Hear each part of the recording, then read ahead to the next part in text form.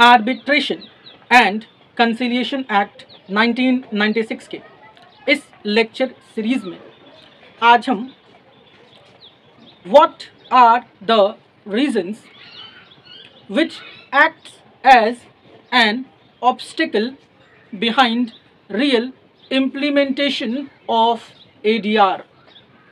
तो आज की इस वीडियो में हम उन सभी मेजर प्रॉब्लम्स के बारे में बात करेंगे, या उन सभी मेजर रीजन्स के बारे में बात करेंगे, जो ऑब्स्टेकल्स की तरह एक्ट करती हैं, जो एक प्रकार से हर्डल की तरह एक्ट करती हैं। In real implementation of ADR system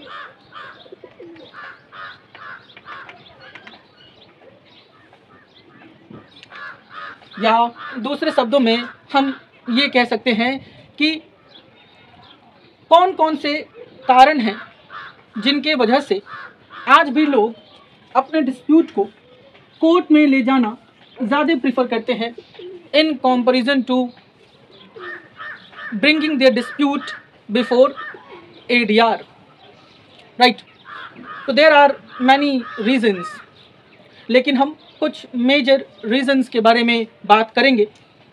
जैसे कन्वेंशनल थिंकिंग ऑफ़ इंडियंस लोगों की पुरानी सोच लैक ऑफ़ प्रॉपर लॉज हमारे पास एडीआर को लेकर के अभी भी प्रॉपर लॉज नहीं है। Intervention of courts in arbitration proceedings और lack of awareness of the people तो बेसिकली ये चार पाँच मेजर रीजंस हैं जो एडीआर के इम्प्लीमेंटेशन में हर्डल की तरह एक्ट करती हैं। राइट पहला क्या है? Conventional thinking of conventional thinking of Indians दूसरा lack of proper laws lack of proper laws तीसरा intervention of intervention of courts in arbitration proceeding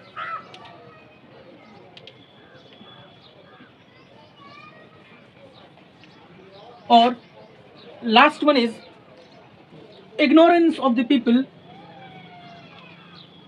Ignorance of the people or lack of awareness among them regarding ADR right. The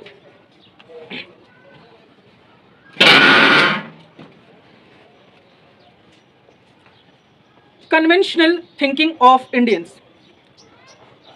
Although India is moving towards modernisation हम modernisation की तरफ़ तेज़ी से बढ़ रहे हैं। It is yet a developing country which means most of the people are ignorant towards arbitration and still trust courts more than A D R तो अभी भी इंडिया में मेजॉरिटी जो लोग हैं, वो कोर्ट को समझते हैं, कोर्ट को जानते हैं। वो कोर्ट के एडिशन में कोई ए डी आर प्लेटफॉर्म भी एग्जिस्ट करता है, जहाँ वो अपने डिस्प्यूट को रिजॉल्व करा सकते हैं। Where they can get amicable settlement of their disputes they can get quick solution to their problems इन बातों से वो अनअवेयर हैं।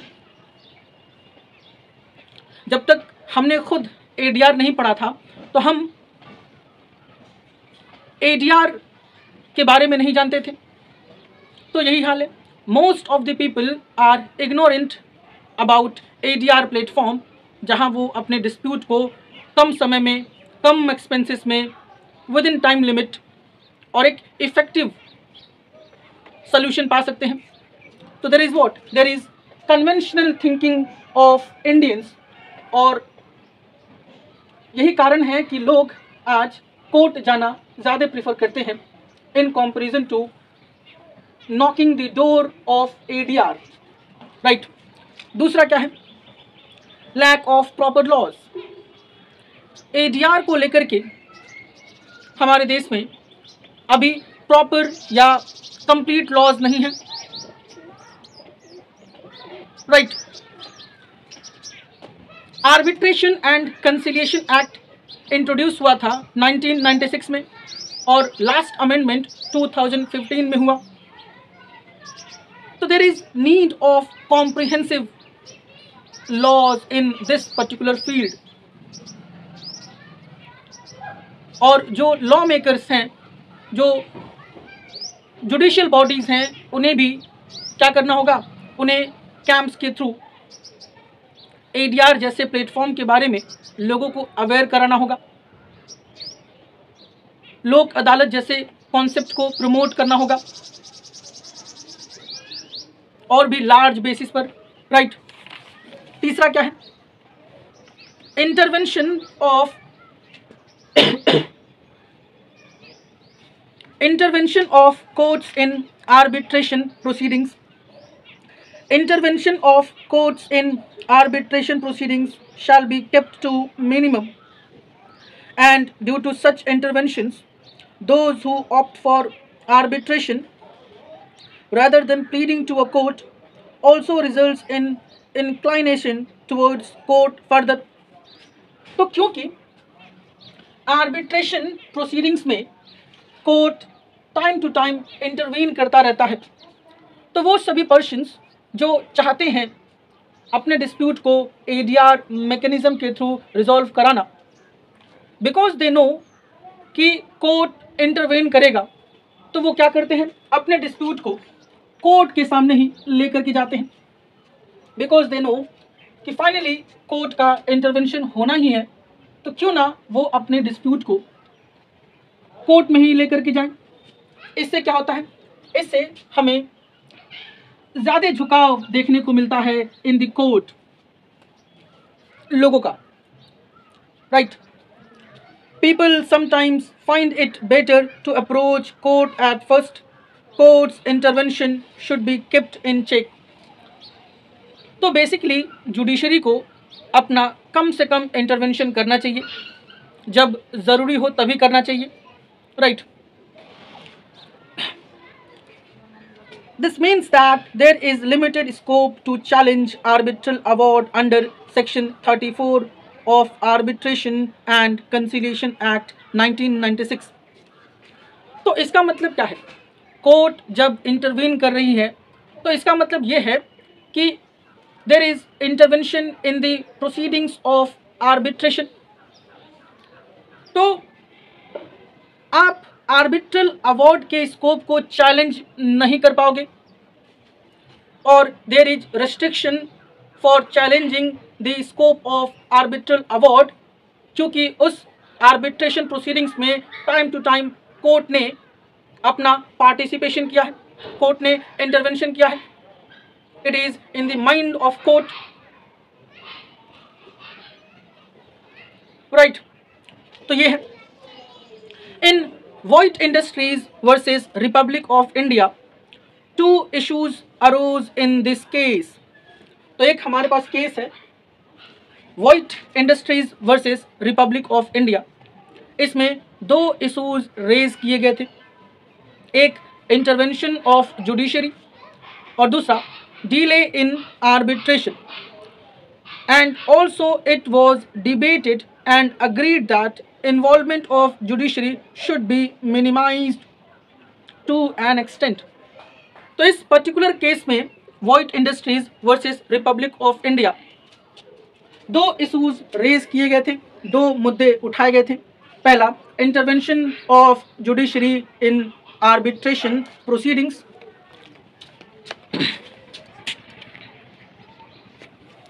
और दूसरा डिले इन आर्बिट्रेशन प्रोसीडिंग्स तो because of time to time intervention of judiciary in arbitration proceedings it leads to delay in arbitration और ये माना गया कि जुडिशरी को कम से कम आर्बिट्रेशन प्रोसीडिंग्स में इंटरवेंशन करना चाहिए, कम से कम दखलंदाजी करना चाहिए राइट right. और फोर्थ वन इज़ इग्नोरेंस और लैक ऑफ़ अवेयरनेस तो एक तो है conventional thinking of Indians peoples nowadays use to find court a better platform than A D R mechanism right और लास्ट क्या है? Lack of awareness one of the major issues due to which an arbitration is not growing in India is because of lack of awareness among the people. Some businessmen, advocates, legal advisors are only aware of situation relating to arbitration and due to this unawareness many small scale businessmen and various newcomers who are not aware of such remedies are left out of such proceedings तो वही बात है कि जब तक हमने और आपने अल्टरनेटिव डिस्प्यूट रिजोल्यूशन या आर्बिट्रेशन एंड कंसिलेशन एक्ट 1996 को नहीं पढ़ा था, तब तक हम अनअवेयर थे उस प्लेटफॉर्म के बारे में जिसे हम एक सब्सिट्यूट के तौर पर यूज़ कर सकते हैं, एक एडिशनल प्लेटफॉर्म के तौर पर यूज़ कर सकते हैं, जहाँ हम अपने डिस्प्यूट्स को कोर्ट में ना ले जाकर के आउटसाइड द कोर्ट सेटल करा सकते हैं। तो इसके बारे में हम अनअवेयर थे। तो यही रीज़न है जो एडीआर के इम्प्लीमेंटेशन में एक ऑब्स्टिकल की तरह, एक प्रॉब्लम की तरह एक्ट करता है। क्योंकि एडीआर के बारे में कुछ बिजनेसमैन कुछ एडवोकेट्स कुछ क्या लगभग सभी एडवोकेट्स को, कुछ बिजनेसमैन को और लीगल एडवाइजर्स को ही पता है। और मोस्ट ऑफ़ द पीपल इस प्लेटफॉर्म के बारे में अनअवेयर हैं। राइट तो these are some problems behind real implementation of A D R the very first one is conventional thinking of Indians या आप लिख सकते हो ट्रेडिशनल थिंकिंग ऑफ़ इंडियंस दूसरा लैक ऑफ़ प्रॉपर लॉज तीसरा intervention of courts in arbitration proceedings इसमें आप White Industries versus Republic of India का जो केस है, वो भी रेफर कर सकते हो।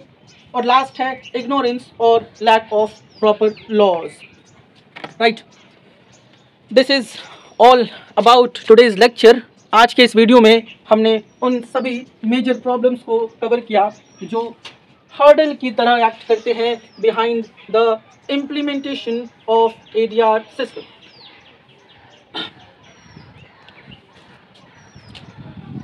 आप में से किसी एक ने, जिनका सौरभ नाम है, उन्होंने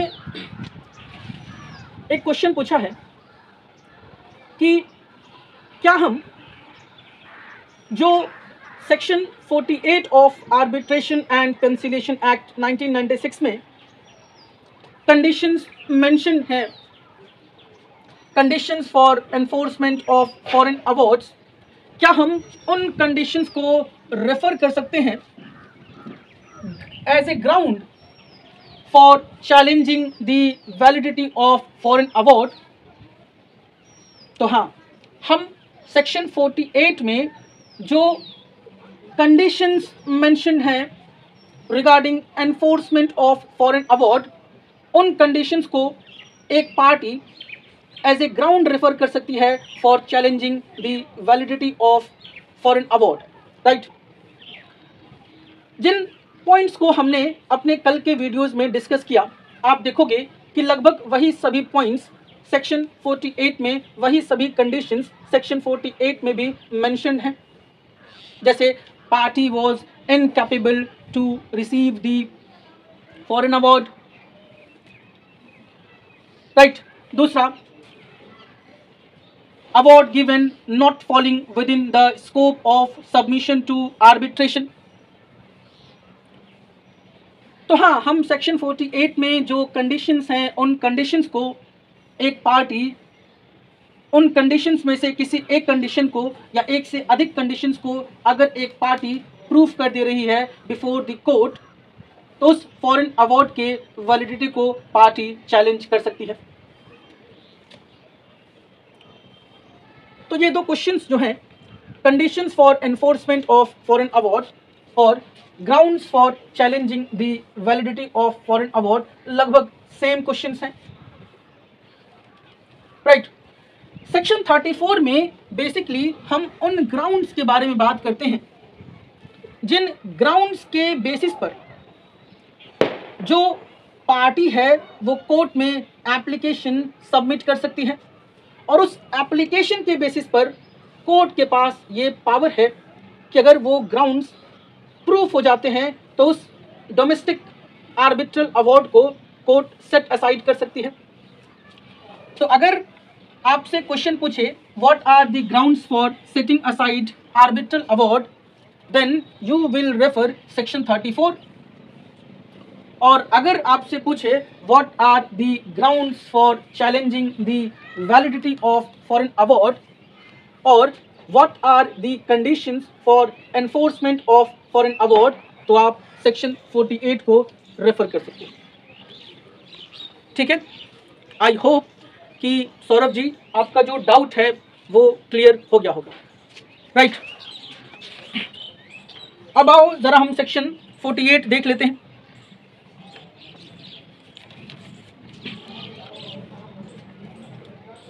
तो पहला कंडीशन क्या है? कि if the parties to the agreement refer to in section 44 यानी ये न्यूयॉर्क कन्वेंशन अवार्ड के तहत फॉरेन अवार्ड के बारे में बात कर रहा है। पार्टीज़ जो थी, वो under some incapacity not able to receive the award दूसरा party against whom award is invoked was not given proper notice उसे प्रॉपर नोटिस नहीं था रिगार्डिंग अपॉइंटमेंट ऑफ़ आर्बिट्रेटर और रिगार्डिंग आर्बिट्रल प्रोसीडिंग्स और party was unable to present his case award was not falling within the scope of submission to arbitration. Right. Composition of arbitral authority or arbitral procedure was not in accordance with agreement between the parties. तो लगभग लगभग क्या है? सभी वही points हैं जिन points को हमने अपने कल के वीडियोस में डिस्कस किया।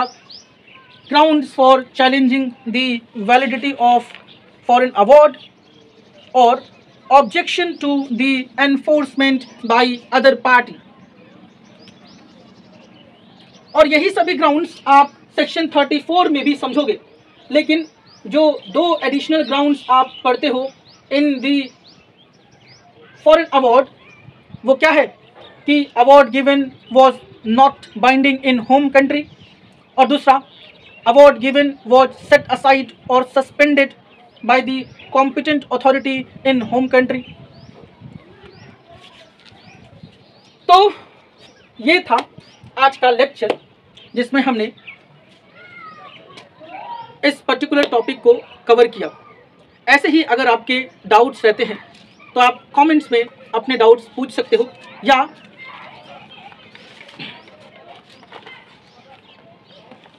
आप मुझे इस नंबर पर मैसेज कर सकते हो seven zero eight double zero nine eight seven zero nine